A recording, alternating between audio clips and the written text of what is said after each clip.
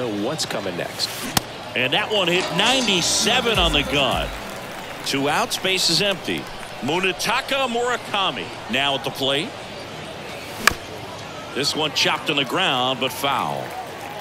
No score just getting started top of the first. Swung out, belted.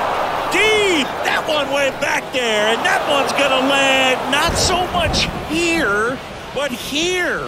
He flexes his power with that swing, and that gives him a lead. It's 1 nothing. When you're working with this kind of velocity, so critical that you move the ball around, work quickly, and make sure that you keep that hitter off balance. Clearly not fooled by the low